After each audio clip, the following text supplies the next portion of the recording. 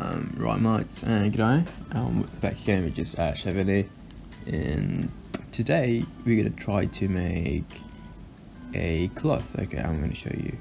Um, you know, you can just, you, I'm pretty sure you've seen those beautiful, crazy, a blender um, clothes from Hard Ops or Fluent, I guess, yes. It's a Fluent and this thing. Yeah this pretty cool stuff.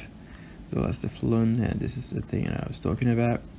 And they made a free pretty good. But yeah you gotta pay to, to to have this right? And I'm gonna show you making them without without add-ons so just jump into it.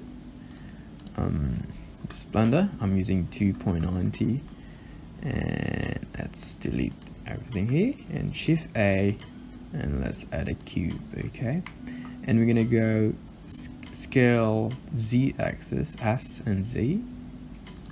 And then we gonna control A to apply scale. So after this you're gonna try to go to the edit mode and face and click the top of the face here and just shift D to duplicate it and right click to put it where it was before. And then you're gonna click P to separate and click the selection so it's gonna be a different different part of it. But just leave it be there just, just leave it there. And you, are gonna go to face mode this new object and you're gonna try to subdivide it. Subdivide it um, a couple times until it's pretty small. I guess like this Guess like this. And here you're gonna try to alt click on this edge and shift as well. So it's gonna click along that line. And as well this one.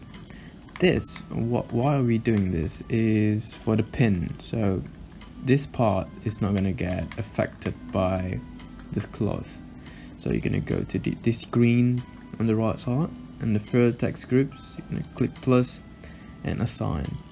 And just to check again deselect and select deselect and after that you're gonna go to object mode again.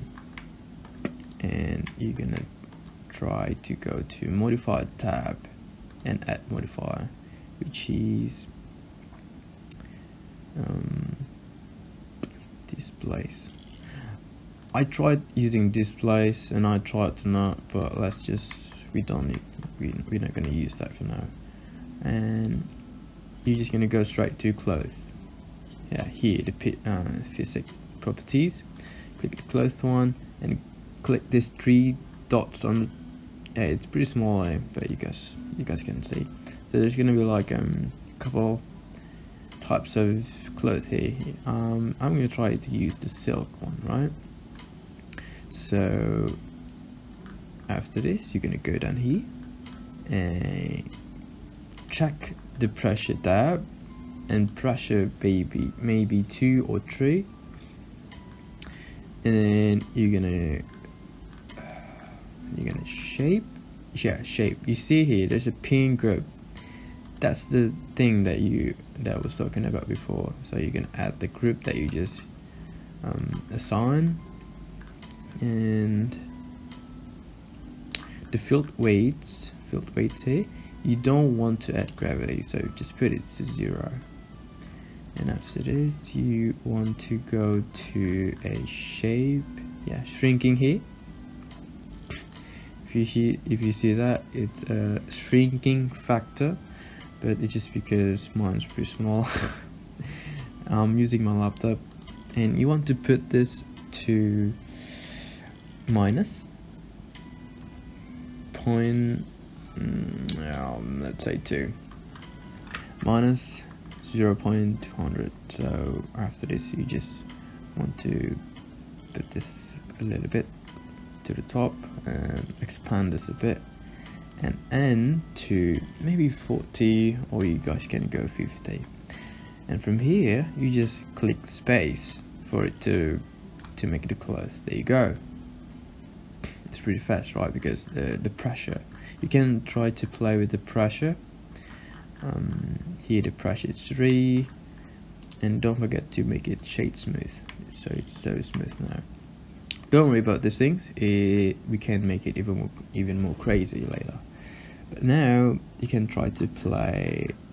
Let's play with the vertex mass you put one and just click space again and you can see it's uh, if you're gonna go crazy let's put five right? Go to the beginning. It's like that. That's what's happening. So uh, I think I, I like this. So it's 37 frame of 37 I like it here. Anyway if you want to play more you can try to if you want to make it big okay? If you want to make it big. Minus 0.5 it's gonna go big to yeah it's gonna go like very high. You can expand this the frames though if you want. Just depends on your preference. Um let's see if there's something I like. I think I like this thing. But it's kinda just a bit of ah yeah I like this one. Uh, I like this one. Like just uh, a bit um okay like this one think yeah. okay so if you done you after you found your favorite frames there you're just gonna click apply okay apply the cloth and here you are with the material preview just to check it because it's too bright. You can add some materials and just put it to gray. And if you want to make it even crazy add a subdivisions you can add this before you apply but yeah you know at least three or two is just enough though. Two or three is enough. And after this you can see that it's it's pretty pretty cool though. It's already looking pretty good but we could actually make this even more better. So go for the texture. And I'm gonna split my screen here. And go to shader editor on the, on the left side ones. And here you have the Principled BSDF, BSDF right? Um, I like to put a bit of roughness like uh, just a bit more. Add it a bit more. And if you I'm pretty sure you have the Node Wrangler add-on it that can help us later. So shift A and add Musgrave yes. We're gonna add Musgrave and shift A again and bump. Normal to normal here. And height to height.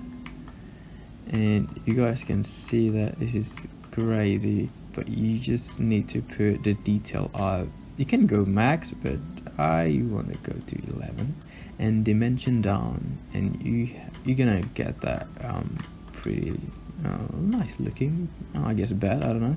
But you can measure like um, just put strength to low so it's not gonna be uh, that extreme.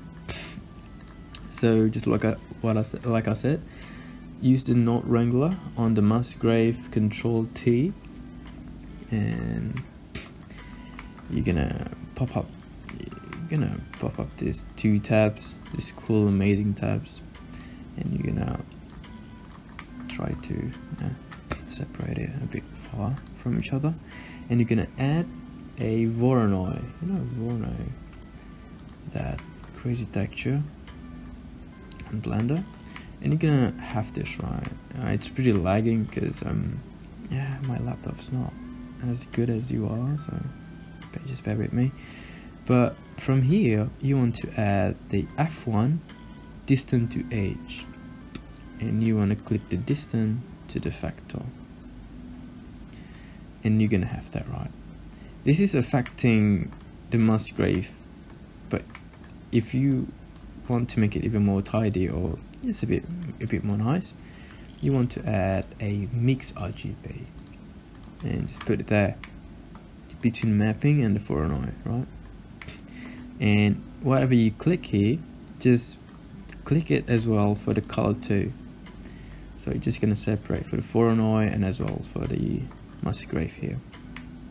and you can already see that looking pretty amazing it's it has a yeah it just it has a really cool texture here and maybe if you want to make it even more nicer I don't know add a bit metallic and a bit darker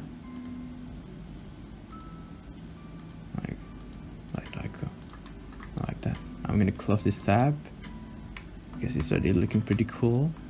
And for the last part is you gonna go to render properties. This is my favorite moment. Ambient occlusion. Um, I usually put it to around 600 and factor to 1.3 and uncheck that bent normals and that bloom. No it doesn't affect. If you're gonna add some sun it's gonna affect some uh, highlighting and shadows to hyper the last part is look to high contrast. Check it out. Check it out mate. Um oh, I don't know what to say. I'm, I'm, I'm, gonna add some a bit of uh, yeah I think that's just looks so good it's pretty lagging. I'm gonna go to solid mode. I just want to edit this this one to add some bevel. And 3 segments is enough. Limit angle shading shadow hard normals and shade smooth. And we're gonna go to metal preview. Would you look at that? Would you look at that mate? This is with no add-ons okay you can achieve this so I mean it's, it's pretty laggy though it's pretty it's getting so laggy but what you can do about it is you go to Google Chrome or wherever your browser is and you type Blender Baked Texture I, I don't know much about this thing yet. I'm still learning how to bake texture. I know um I guess pretty easy, but I just haven't haven't thought about it. Like um, yeah, you know, um, just about now that I think it's quite needed. So you can try to bake bake texture, but this thing um, and it's gonna help. It's not gonna be laggy anymore. And this one is shout out to Marcom 3D He's pretty cool guy. I'm gonna help you a lot with this texture, but there's a bunch of videos about it. You can just type in Google and uh, on YouTube. I mean, and that's all for now. Thank you guys for watching. Thank you for staying with me here, and see you guys next time.